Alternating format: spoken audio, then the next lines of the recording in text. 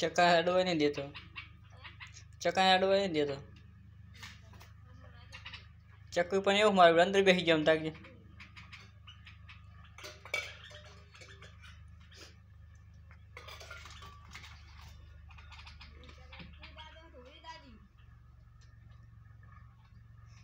અહીં નાખી દે અહીં ભાગી